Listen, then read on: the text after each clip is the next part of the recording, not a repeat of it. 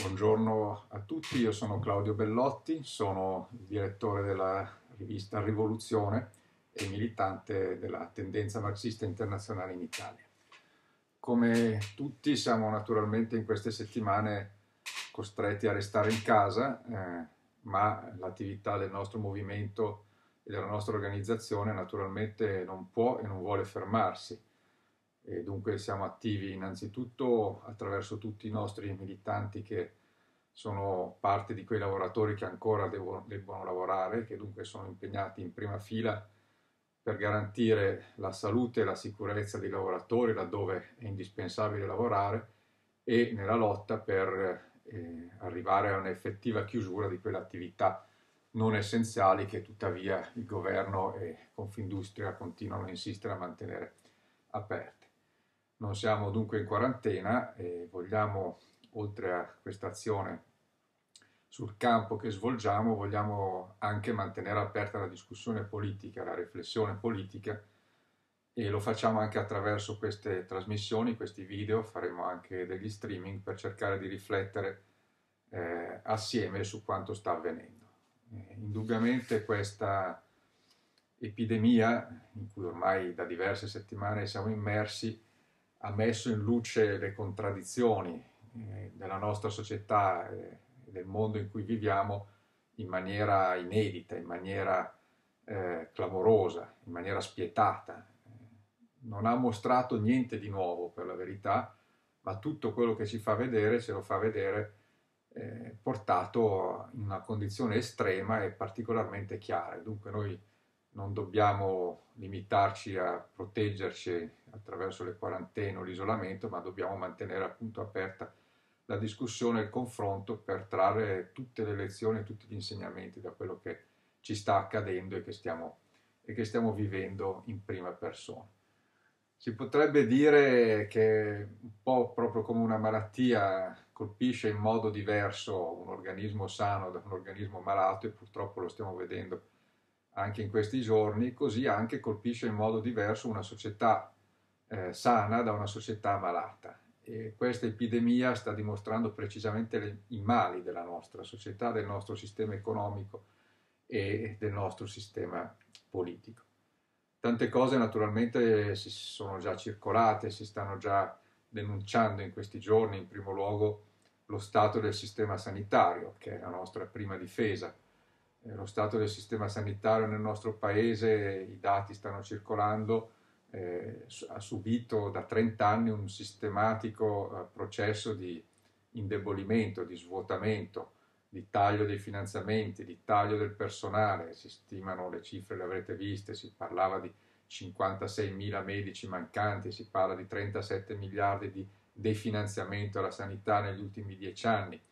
Eh, che sono stati condotti prevalentemente in nome delle politiche di austerità eh, che per la verità vengono da molto lontano, anche ben prima che si firmassero il patto di stabilità e gli altri trattati europei che hanno in qualche modo codificato questa politica. Mi sembra giusto però aggiungere che eh, non sono solamente i tagli che hanno indebolito eh, la sanità pubblica in Italia e non solamente è stato proprio una, un cambiamento di obiettivo.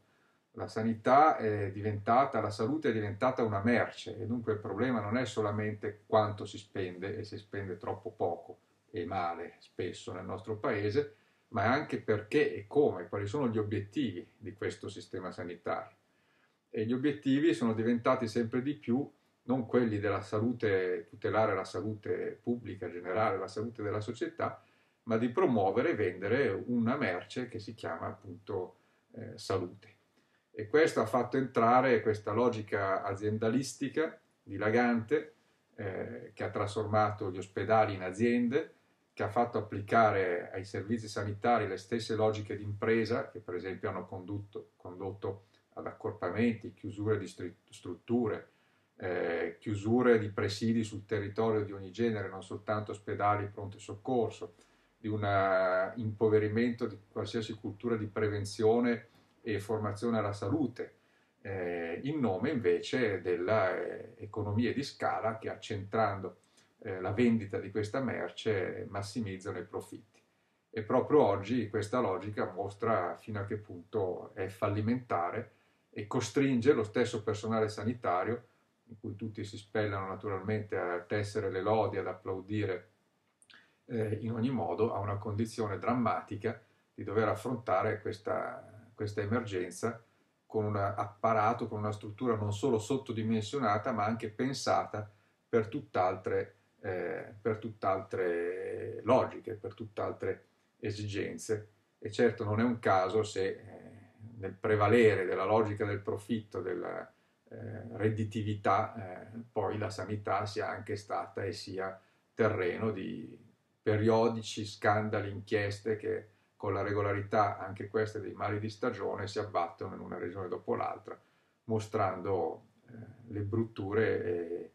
e, la corruzione di questo, di questo sistema, che è stato anche molto danneggiato dalla regionalizzazione che ha creato, eh, distrutto di fatto una, la logica del servizio universale, gratuito e uguale per tutti, volto a tutelare la salute eh, della società in generale e di, de, dell'intera popolazione. Tuttavia non possiamo soltanto guardare a questo lato del problema. La risposta che il governo italiano ha dato, ma per la verità quasi tutti i governi si muovono grosso modo stesso, nella stessa traccia, con qualche differenza, rispecchia sicuramente la debolezza di questo sistema, che è stata scaricata sull'insieme dei cittadini, eh, prendendo una decisione che è la più eh, debole di tutti, diciamo così, cioè quella di chiudersi tutti in casa perché è l'unico strumento che rimarrebbe, che rimane per tentare di rallentare il contagio e impedire il collasso eh, generale del sistema sanitario, eh, ma eh, le decisioni del governo hanno anche rispecchiato altri, altre logiche e altri, eh, altri interessi perché da un lato si è scaricato il costo economico e sociale eh, e psicologico anche eh, sulle famiglie di questa clausura, di questa quarantena o confinamento. Eh, è facile dire fatele seguire ai figli le lezioni da scuola, eh, di scuola attraverso internet, è facile dire lavorate da casa, è facile dire eh, non uscite se non eh, una persona alla settimana per fare la spesa, quando poi questo si scontra con famiglie che magari in 50 metri quadri debbono prendersi cura di due figli o di una persona anziana, eh, non tutti hanno una connessione, che perdono reddito, che perdono stipendio, che perdono eh, possibilità di fare fronte eh, a questa infinita catena di problemi che gli si scarica addosso eh, massima severità su questo fronte, eh, non puoi comp- comprare i quaderni all'S lunga, ma potrebbe esserci, scusate, al supermercato, che l'S lunga non c'è in tutta Italia, ma eh, può essere magari seguito da un drone perché verifica se hai portato il tuo cane oltre i 200 metri di distanza dal portone di casa e tuttavia questa severità e questo rigore sbandierato si ferma rispettoso ai cancelli delle aziende e dunque milioni di persone, milioni di lavoratori e lavoratrici hanno continuato ad andare a lavorare in tutte queste settimane, eh, non solamente quelli dei servizi essenziali, naturalmente della sanità, del rifornimento alimentare, dei servizi indispensabili, delle produzioni indispensabili, ma anche tanti altri che andavano a lavorare semplicemente perché le aziende avevano bisogno di mantenere aperte le produzioni e non volevano perdere possibilità di fare profitto anche in questa, in questa situazione. Eh, questo ha fatto sì che ancora pochi giorni fa si stimassero almeno 9 milioni di, per, di persone che tutti i giorni andavano a lavorare, molti naturalmente accalcandosi anche nei mezzi pubblici, sui treni, su, sugli autobus, sulle metropolitane e in ogni caso moltiplicando i rischi e le possibilità di contagio. Ecco, io credo che questo sia stato non a caso uno dei terreni di scontro fondamentali nelle ultime due settimane, in particolare dopo il, decre- il decreto che il 9 marzo ha esteso la zona rossa diciamo, a, tutta, a tutta Italia e ha messo in luce la vera eh, struttura della nostra società. Eh, tutti a casa, eh, tutti a proteggerci, tranne chi lavora per produrre profitto per qualcun altro. E non è un caso che proprio in queste due settimane la risposta sia arrivata in attesa per molti, sotto la forma di una ondata di scioperi che nelle ultime due settimane ha coinvolto decine e centinaia di aziende in gran parte, se non in tutto il territorio nazionale. Eh, scioperi spontanei per la maggior parte, ovvero sia organizzati dai lavoratori stessi o, loro, o dai loro delegati sindacali dentro le aziende, che hanno posto in maniera inaggirabile questo punto. Se tutti devono stare a casa, se tutti devono stare al sicuro, deve stare al sicuro anche la classe operaia, anche i lavoratori devono stare a casa. E dunque dopo lo sciopero della Fiat di Pomigliano d'Arco ne abbiamo viste decine e decine di altri, eh, sia ne, nella grande industria eh, e anche in alcuni servizi eh, di corrieri, di, eh, nel commercio, che chiedevano o la chiusura appunto delle produzioni e dei servizi non essenziali oppure una forte limitazione e soprattutto un rispetto delle misure di sicurezza, peraltro indicate dal governo stesso, le misure di distanziamento, di sanificazione e quant'altro. Abbiamo visto quindi scioperare a Fincantieri, nella Fiat, nella, nella metalmeccanica, nella chimica, eh, nel commercio, nei trasporti, eh, a macchia di leopardo, perché è stato un movimento che si è auto-organizzato e che ha posto in maniera forte questo punto. E così dopo 30 anni che ci si diceva che non esistono più i lavoratori, che non esiste più la classe lavoratrice, che non esiste più la classe operaia, si scopre che invece non solo esiste, ma addirittura è essenziale. Il governo qui ha mostrato tutto il suo cinismo e la sua ipocrisia e ancora di più lo hanno dimostrato Confindustria e i padroni in generale. Tutti si aspettavano una chiusura quando è stato fatto il cosiddetto decreto io resto a casa, ma niente veniva fatto eh, dal punto di vista di chiudere queste aziende, queste produzioni. E questo ha rilanciato eh, questa mobilitazione dal basso, costringendo il sindacato, i dirigenti di CGL e Cisle Will eh, finalmente a uscire da un loro stato di completo torpore e passività e in qualche modo a secondare questa mobilitazione eh, e aprire una trattativa col governo e con Confindustria. Questa trattativa è stata molto sbandierata, ha portato a un primo accordo il 14 marzo, il cosiddetto protocollo del 14 marzo, eh, che però ancora lasciava sostanzialmente mano libera alle imprese, era tutto un raccomandare, era tutto un auspicare, era tutto un,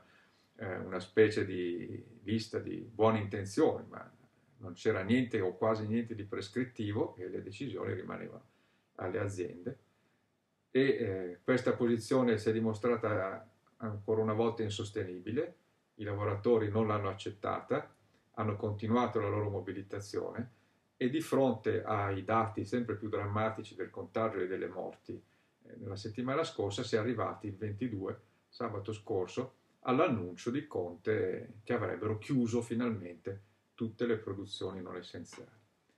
E credo che lì si sia visto veramente nelle, in quelle successive 48 ore qual è eh, il vero rapporto eh, di potere che c'è in questa società. I lavoratori e i sindacati pensavano che si fosse arrivati finalmente al cosiddetto lockdown, cioè che veramente si sarebbe fatta una lista di pochi settori essenziali in cui continuare a lavorare, su cui concentrarsi anche per poter garantire quei cambiamenti necessari a tutelare i lavoratori, che tutto il resto si sarebbe fermato per almeno un paio di settimane per ma- massimizzare e rendere più efficace la politica del contenimento, del distanziamento. E invece è iniziato un, una, un tiro alla fune sotto gli occhi di tutti, perché anche se siamo chiusi in casa, tutti seguiamo nei telegiornali ancora di più in rete gli avvenimenti. Confindustria si è fatta sentire con grande cinismo ed è uscita una lista che lascia, una lista delle produzioni autorizzate a restare che lascia aperta eh, la porta a continuare ad accalcare i lavoratori nei reparti, sulle linee, nei call center, eh, e in altri servizi a milioni, letteralmente a milioni.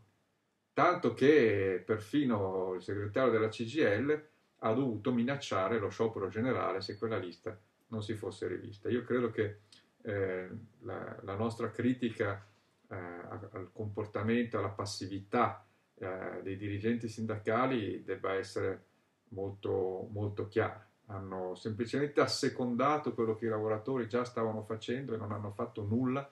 per dare un carattere organizzato, strutturato ed efficace, più efficace a questo movimento. Però certamente Landini ha detto una cosa vera quando ha detto la paura che c'è rispetto al contagio può trasformarsi in rabbia, in furia, se non eh, cambiate questo decreto. Il problema è che nei tre giorni successivi, sotto la minaccia di questo sciopero generale, si è continuata una trattativa dietro le quinte sempre più nascosta, eh, che ha prodotto alla fine una piccola modifica di quella lista, qualche attività in più è stata messa tra quelle da chiudere, ma tuttavia ancora siamo in una situazione in cui eh, sicuramente ci sono decine di settori e di aziende che lavorano e non dovrebbero lavorare. Troppo, eh, qualcuno deve spiegare perché le fabbriche di armi e le industrie della difesa non possono chiudere per queste due settimane. Eh, quale arma segreta si debbono mettere a punto che non possono mettere a punto appunto fra due settimane eh, sperando che a quel punto inizi a calare la curva del, eh, del contagio. Così come non si capisce perché eh, si debbano mantenere aperti servizi che comportano un forte contatto col pubblico, come eh, la consegna postale, molte delle consegne che fanno i corrieri non sono in, indispensabili, così come non si capisce perché ci siano regioni che mantengono aperti i supermercati la sera, le aperture serali, alcune addirittura quelle notturne, quando è evidente che il problema è ridurre eh, le occasioni di eh, scambio e dunque il rischio di contagio sia tra i lavoratori stessi che tra i lavoratori e, e, e l'utenza e, e, il, pubblico, il pubblico in generale. Eh, il cinismo di Confindustria è stato clamoroso. Il presidente di Confindustria Boccia è uscito domenica dicendo eh, uno sciopero generale non capiamo perché. Questo è sputare in faccia a milioni di persone che capiscono benissimo il perché, perché ormai è chiaro che il contagio nella gran parte si prende nei luoghi chiusi e dunque il contagio nell'ambiente familiare, nell'ambiente lavorativo, nel trasporto pubblico e purtroppo anche negli ospedali per una strutturazione che ancora non è arrivata a quello che dovrebbe essere di separazione, di sicurezza, di, eh, di gestione dei, dei, dei, pazienti ammalati eh, di, questa, di questa malattia, questi sono i, principali luoghi di diffusione del contagio e tra questi ci sono ovviamente fabbriche e aziende eh, dove abbiamo visto casi eh, drammatici e inaccettabili, un lavoratore che muore in un call center, un lavoratore eh, che si, si, sente male, una guardia di un supermercato che si sente male dopo aver fatto, tutti noi l'abbiamo visto, ore e ore di turni per gestire le file e le code che si formano per contingentare l'accesso ai supermercati, o i due lavoratori delle poste che sono morti nella provincia di Bergamo l'anno scorso. Questo è il volto reale di questo sistema, di questa classe dominante, di questo padronato che eh, grida all'emergenza ma non è disposto, eh, grida siamo tutti sulla stessa barca, ma non è disposto a rinunciare a un grammo dei suoi, dei suoi profitti. Ancora in questi giorni, in queste ore, eh, riceviamo e circolano tanti resoconti di aziende che cambiano la loro eh, ragione sociale, il loro codice ateco per poter rientrare tra quelle eh, che possono produrre, aziende che magari perché un 5% della loro produzione potrebbe essere legato ai settori essenziali vogliono mantenere aperti tutti i reparti, aziende che perché le loro produzioni fra sei mesi potrebbero servire non sono disposte a chiudere per, eh, per, per qualche giorno, per un paio di settimane in questo, in questo momento, eh, momento, momento critico. E dunque questa, questa mobilitazione andrà avanti, deve andare avanti e l'abdicazione dei dirigenti sindacali deve essere eh, rovesciata attraverso una nuova spinta dal basso. È l'unico modo per ottenere più di quello che, che, in parte si è ottenuto e che comunque è stato esclusivamente il risultato di questa mobilitazione spontanea eh, dal basso. Eh, Credo però che si debba anche guardare alle conseguenze più in generale, eh, non solamente a quello che accade nell'immediato attorno a noi o nei, eh, in, questi, in, questi, giorni. Questa pandemia eh, sta scatenando una crisi economica che era già in marcia, adesso la chiameranno la crisi del coronavirus, ma erano già mesi che tutti gli indici indicavano eh, che diversi settori chiave dell'economia mondiale si stavano eh, rallentando o addirittura fermando, compresa la Germania, la Cina, e altre zone importanti anche nel nostro paese già c'era area di rallentamento della produzione, calo del mercato, eh, aziende che iniziavano ad avere problemi a annunciare cassa, cassa integrazione. Però sicuramente questo, questo virus, questa pandemia accelera e aggrava di molto tutto questo. E, è inutile fare stime su quale sarà il, la perdita di produzione quest'anno. Eh, si stima, eh, cioè i dati reali sono che per esempio le richieste di sussidio di disoccupazione che si fanno ogni settimana in paesi come gli Stati Uniti o il Canada sono a livelli mai visti, eh, a livelli mai, accelerano a livelli mai visti da 40 anni a questa parte. Si stima una possibile 20% di disoccupazione negli Stati Uniti d'America, quando il dato attuale credo che sia non molto lontano dal 4%, almeno quello, eh, quello ufficiale. La stessa Cina, che negli ultimi dieci anni è stato uno dei paesi che ha sostenuto la crescita economica a livello mondiale, eh, annuncia, mm, una, ipotizza un calo che potrebbe essere che la crescita scenda dal 6 al 2% o 2,5% e io penso che potrebbe essere persino meno perché la Cina adesso sembra aver superato eh, l'epidemia e tuttavia se il resto del mondo è in crisi, è in crisi profonda eh, gli sbocchi di mercato si chiudono anche per l'industria, eh, per l'industria cinese. Ci sono settori che sono già andati a gambe all'aria, il crollo del prezzo del petrolio, per esempio, in generale dell'energia, eh, non solamente colpisce i produttori, ma colpisce tutta una parte del sistema finanziario che eh, prestava, eh, che ha sottoscritto i titoli di queste aziende, soprattutto quelle americane, che hanno tirato fuori il petrolio eh, da ogni angolo del sottosuolo, anche con gravissimi costi ambientali, che adesso si trovano assolutamente fuori eh, fuori mercato, le linee aeree, il turismo, eh, la lista è infinita. Dunque ci avviamo a gran velocità a un cataclisma economico che cade su un'economia che a livello internazionale e in Italia particolarmente non aveva ancora recuperato gli effetti della crisi del 2008, come tutti ben sappiamo. I salari, la produzione, la condizione sociale eh, in generale non avevano recuperato i livelli pre eh, del, 2000, eh, del, 2000, eh, del 2008. E dunque dobbiamo aspettarci le peggiori conseguenze sociali, oltre alle conseguenze sanitarie di questa, eh, di questa epidemia. Chi parla di tornare alla normalità, eh, naturalmente facendo appello a un sentimento che è diffuso, di dire teniamo duro qualche giorno, qualche settimana, forse un paio di mesi e poi eh, potremo condurre una vita eh, più tranquilla e tornare appunto a una situazione migliore, eh, questo è un sentimento naturale, ma chi parla di questo nella politica, nei media, eccetera, mente sapendo di mentire. Eh, qui non si tornerà alla normalità, qui si arriverà rapidamente a uno scontro feroce eh, su chi dovrà pagare le conseguenze di questa crisi e di questa epidemia. E che la situazione sia drammatica dal punto di vista economico lo dimostra il fatto che scendono in campo i pezzi da 90. E molti di voi avranno visto la lettera o avranno sentito della lettera che l'ex eh, governatore della Banca Centrale Europea Mario Draghi ha scritto sul Financial Times, è stata tradotta ha circolato dicendo dobbiamo eh, fare fronte a questa crisi con mezzi straordinari, dobbiamo fare debito, bisogna che eh, le autorità, lo Stato, le banche centrali sottoscrivono tutti i debiti che non si potranno ripagare. Bisogna fare debito, fregarsene, sostanzialmente ha detto se il deficit aumenta, e la stessa Unione Europea ha sospeso il patto di stabilità, cioè uno dei trattati che costringeva alle politiche di austerità e ai tagli di bilancio.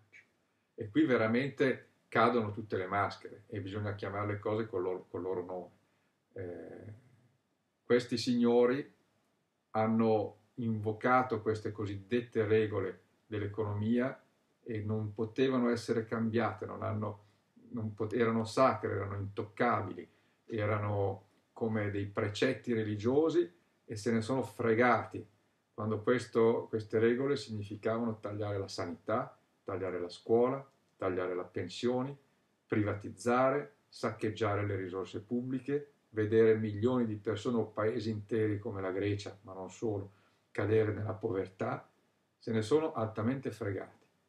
Adesso ci vengono a parlare di fare debito, di abolire le regole eh, del patto di stabilità, di abolire le regole dell'Unione Europea,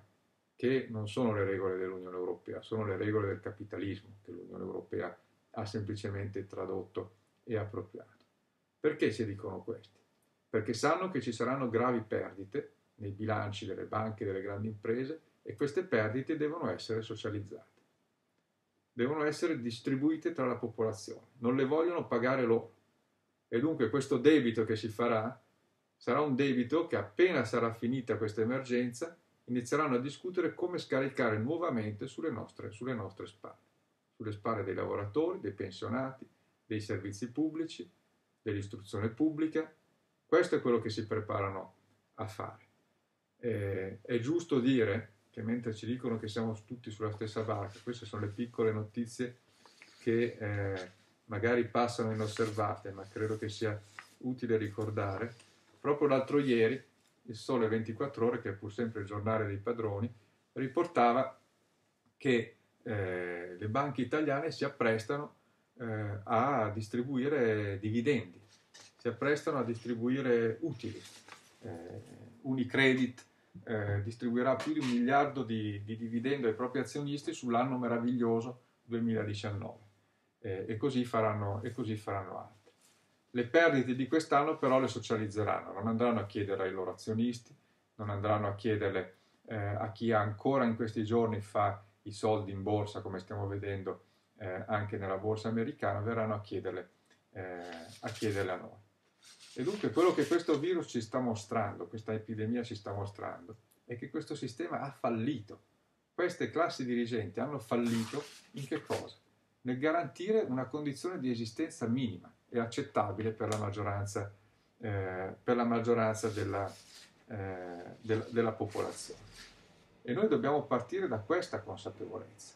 Non possiamo semplicemente cullarci, e penso che ormai questo sia un pensiero eh, che, che, è sparito, cullarci nella ricerca della risposta individuale. Eh, già adesso, già adesso il governo parla, daranno la cassa integrazione, daranno sussidi, però già adesso ci sono decine, se non centinaia di migliaia di lavoratori che saranno, eh, che saranno al di fuori di queste misere garanzie che stanno dando. Ci sono precari che stanno perdendo il posto di lavoro perché avevano contratti a termine o, o erano interinali o appalti o quant'altro che rimangono fuori eh, da questi ammortizzatori sociali. Ci sono eh, piccoli esercenti, partite IVA che lavoravano in servizi alle imprese che rimangono senza reddito, forse se saranno fortunati accederanno ai famosi 600 euro che il governo, eh, che il governo ha promesso. Eh, la lista è, è, infinita, per non parlare di chi era già, eh, già prima senza, senza un lavoro. E noi dobbiamo riflettere eh, perché dovremo agire per questa situazione, non saremo chiusi in casa all'infinito eh, come siamo in questi, in questi, giorni. Noi dobbiamo eh, partire dal punto che è stato messo al centro proprio in queste settimane, e cioè che cosa è essenziale e chi decide che cosa è essenziale, chi decide come vanno usate le risorse eh, dell'economia, dell'industria, delle, delle, dell'economia in generale. Ecco, qui eh, è il punto su cui noi dobbiamo, eh, dobbiamo riflettere, perché il fallimento di questo sistema ci carica della responsabilità di dare una, una risposta. E io credo che mai come oggi si dimostra che il sistema che si basa sul profitto, cioè il capitalismo, è completamente incapace di rispondere ai bisogni sociali. Adesso naturalmente si vuole far prevalere i buoni sentimenti, siamo tutti nella stessa barca. Oppure magari ci sono altri eh, nelle sfere, diciamo, dirigenti che eh, pensano di poter colpevolizzare qualcuno, eh, o i cittadini irresponsabili o magari qualcuno da un'altra parte del mondo. Avete visto che Trump ha parlato del virus cinese, eh, oppure, eh, vabbè, c'è stato anche un governatore di una regione, credo della Puglia, che ha parlato del virus lombardo, ma questa è una farsa di scaricare la colpa su, eh, su qualcuno che sta da un'altra parte. Ma credo che questa pandemia sta dimostrando una cosa, che i padroni rispondono tutti allo stesso modo, in tutti i paesi la risposta è sempre la stessa. L'unica patria che hanno è nel loro conto in banca, è l'unica bandiera che hanno non è il tricolore che ci chiedono di sventolare, ma è la bandiera, è la bandiera del, del profitto. Ora io credo che milioni di persone, i lavoratori e le lavoratrici in primo luogo, ma in generale tutti quelli che nella nostra società non sono sfruttatori, stanno vedendo con i loro occhi una cosa. In primo luogo la loro centralità, quello che si fa o non si fa, quello che deve rimanere aperto, che non rimane aperto, quello che si produce o non si produce, non è vero che dipende dagli indispensabili capitalisti che organizzano la produzione, dipende da noi, dipende da chi va a lavorare tutte le mattine e produce questi beni e, que- e questi servizi. E si può, e anzi si deve, di fronte alle necessità impellenti, assumere una logica che non è quella di, dell'impresa, dove guadagno di più metto i soldi, ma cosa è realmente importante, quale produzione è realmente indispensabile. E questo è quello che noi chiamiamo il concetto della pianificazione dell'economia,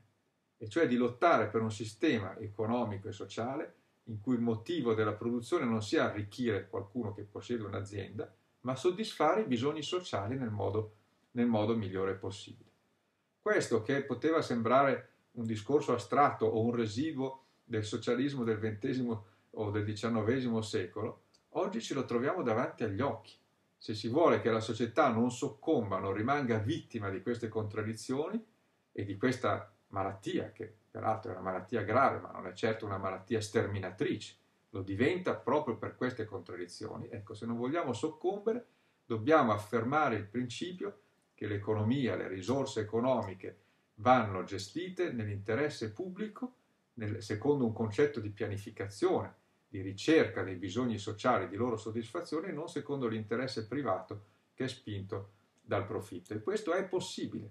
perché così come milioni di lavoratori, non solo in Italia, si stanno attivando per decidere come lavorare, quanto lavorare, dove lavorare per difendere la propria salute, domani potranno fare lo stesso e molto di più in maniera organizzata, in maniera collettiva e anche su scala internazionale per decidere quali produzioni sono necessarie, come vanno prodotte, come si può gestire questa enorme ricchezza che la nostra società pur tuttavia ha nell'interesse della, della maggioranza. E credo che anche l'altro grande concetto su cui in questi giorni tutti siamo con, continuamente sollecitati, cioè quello dell'emergenza. Di fronte all'emergenza ci vogliono misure di emergenza. Sì, e queste misure di emergenza cosa sono? Che quando dobbiamo vedere cosa è essenziale e cosa non è essenziale, la prima cosa che dobbiamo vedere è chi è essenziale. Il reddito di chi, il profitto di chi, l'interesse di chi è essenziale. E questo pone le basi su cui noi dovremmo condurre una battaglia e quando dico noi, dico non solo il nostro movimento, ma penso che saremo parte di qualcosa di molto più grande, come è già stato in questi giorni, per affermare che eh, questo sistema economico deve essere superato, deve essere rovesciato deve essere sostituito di qualcosa che risponda alle necessità della società e che noi chiamiamo, eh, chiamiamo il socialismo. In questo senso, credo che questa esperienza eh, appunto terribile che si sta vivendo a livello internazionale in tutto il mondo è un salto nella coscienza. Sta facendo venire fuori cose che erano già presenti, perché era, era convinzione diffusa. Anche dopo la crisi del 2008 no, si diceva ah, questa crisi avrà insegnato che bisogna eh, limitare gli eccessi della finanza, gli eccessi della speculazione, eppure negli ultimi 12 anni abbiamo visto che le diseguaglianze sociali sono diventate sempre più profonde, i ricchi sono diventati sempre più ricchi, i poveri sono diventati sempre più poveri, le condizioni della massa della popolazione sono peggiorate in quasi tutti i paesi. Qui non ci sarà il ripensamento perché come un peccatore pentito, diciamo, dopo la pestilenza, la classe dominante arriva a più miti consigli. No, qui ci sarà uno scontro feroce, come ho già detto prima, su chi pagherà le conseguenze, chi pagherà il carico economico di questa crisi, chi pagherà il carico economico di questa eh, crisi sanitaria, di questa crisi economica e di questa crisi sociale? E noi dobbiamo essere pronti, innanzitutto avendo le idee chiare, per capire che si apre questa grande battaglia, che è la battaglia per il futuro della gran parte della popolazione dunque per il futuro dell'umanità. Questo sistema è arrivato ai suoi limiti e li ha lungamente da tempo sorpassati. Ed è bastato, tra virgolette, un avvenimento forse casuale, forse inaspettato in quanto tale, ma che era in, indispensabile, che era inevitabile che arrivasse in un sistema così sbilanciato e così disumano a mostrarne tutte le, eh, le contraddizioni, a mostrarne l'ipocrisia, a mostrarne in ultima analisi il fallimento, il fallimento generale.